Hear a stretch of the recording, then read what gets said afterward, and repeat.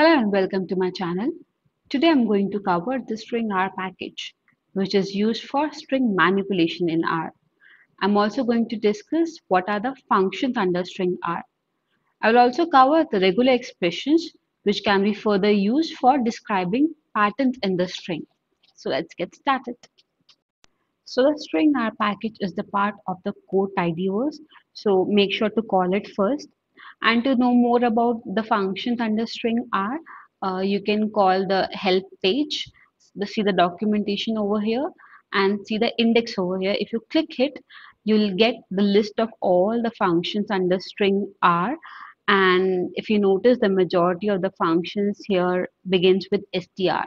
I'm going to discuss the, uh, I'm going to cover few important functions from this list.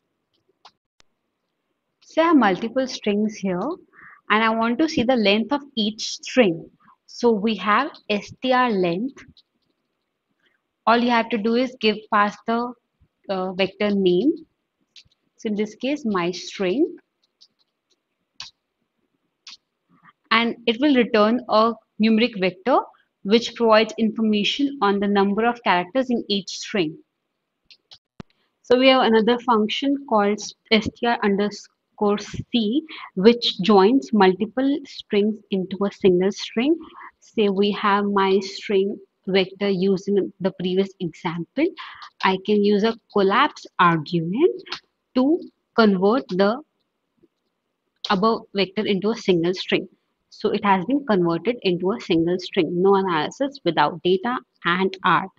Uh, we have another argument in strc called as separator.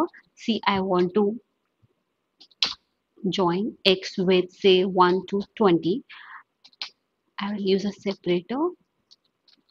So I'll use a hyphen over here. So it returns a character vector of length 20 if you do not want a character vector you can choose to use the function collapse again. And you can give uh, say in this case I'm giving. So this will return. Please notice the double quotations so this will return a single string. So when dealing with the data, you might get NAs as well. Say in this example, uh, if you want to concatenate A, NA, B with hyphen D, you might so in this case, the missing input will not be concatenated. So for that, we have str replace NA which will convert the NAs into character NA.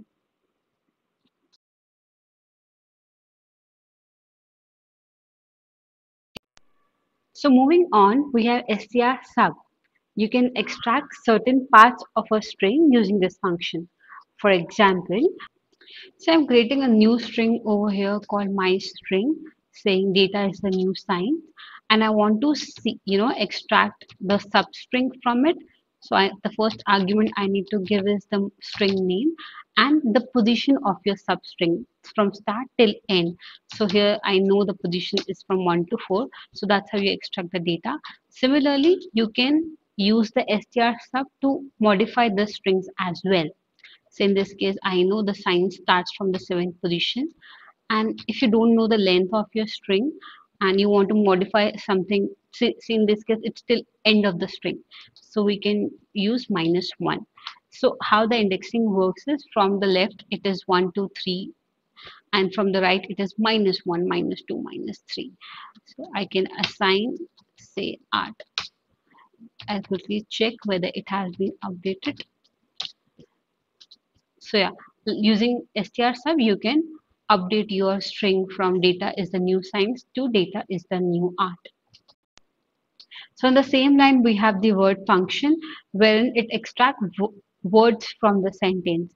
Say again, I can use the same above example. Say in my string, uh, which is the third word. So it will give the output accordingly. Or say I want to see what are the last two words. So I can use minus 1 till minus 2 so it will give me uh, art and new so next we have str split as the name suggests, it will uh, it is used to split a string up into pieces. Say I will use the same my string and I need to give a pattern. Say in this case, if I'm giving a space, that means based on the space, wherever it will find the space in the string, it will split the string from that. So in this case, uh, from the spaces, the string has been split. So let's see some more example where we can discuss regular expressions. Say we have another function called str subset. So let's see the format of it. The first would be your string name and the second argument would be the pattern.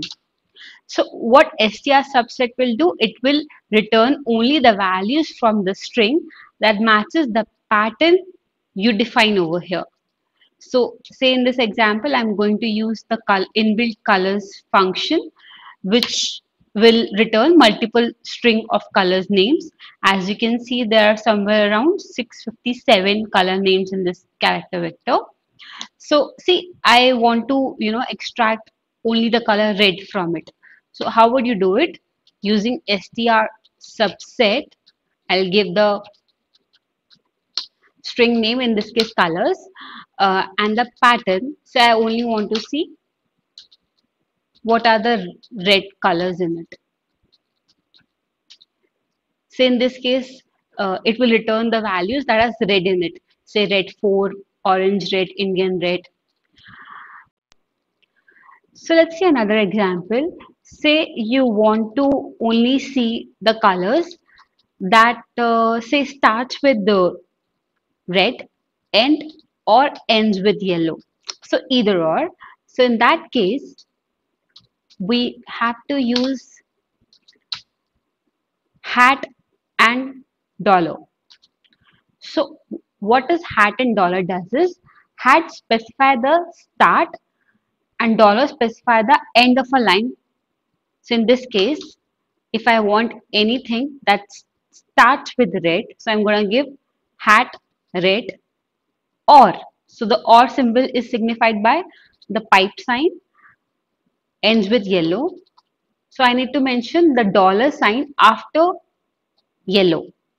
So how will you read it from colors only those pattern which starts with red or ends with yellow so this is how str subset will return a value so we'll see another example of regular expression with another function, str extract. For instance, we have these strings in the bag list and I only want the text without numbers. So the format remains the same, str extract, the string name which is bag list and then the pattern. So in this case, I only want a group of characters. So I'm going to use square bracket. So the square bracket, using square brackets, we can match a group of characters or digits. So I, I am going to use A to Z. So please know that if you want only numbers, you can use 0 to 9. So in this case, I only got the first match. So if, but I want the text without numbers, the complete text without numbers. So in that case, I'm going to use a quantifier plus. So the plus indicates to match one or more times as it is followed by A to Z here. So therefore the function will extract more than one characters. See? So these are some of the pattern searching functions with examples. We have already discussed few. The square brackets are used to find group of characters. Uh, the plus, uh, the the hat and the dollar sign we have already discussed.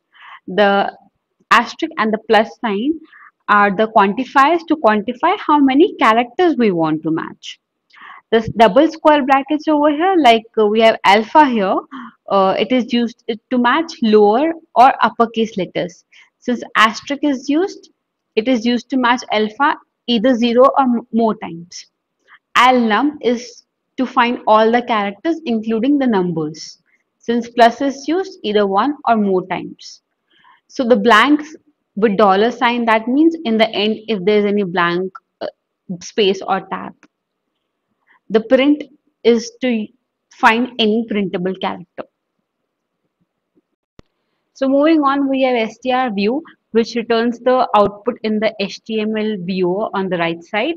So i'm going to use the mystring vector. We have already used this in our previous example. So the format remains the same. I'm going to pass the string name in this case MyString vector and what I want to look for say I want to look for the string that starts with A followed by any single character. So the dot is a meta character in regular expressions that matches any single character. So under the viewer tab the results are highlighted and as per the pattern with A uh, followed by a single character. Uh, please know that it will only return the first match per string. Next we have a str count. So for the same my string vector, I can uh, calculate the number of, say I want to see how many vowels are there. So I can mention in the square bracket and it will return me a numeric vector having the count of vowels for each string. Similarly, we have str locate. Uh, say for the same my string vector, I want to locate the positions of these vowels.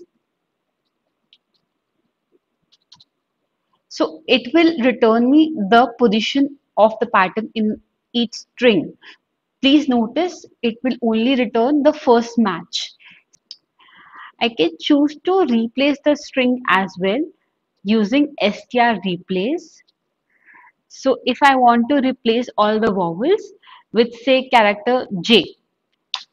So like how I can replace the pattern with the replacement as well. Next we have str to lower which will convert the text from uppercase to the lowercase. We have str to upper that will convert the text from lowercase to uppercase. Then we have str to title that will keep the first alphabet as uppercase and the rest will be lowercase. So yeah, like this, there are many uh, useful functions under stringr. Please let me know in the comment section below if you want me to cover any specific function in detail. Thank you for watching.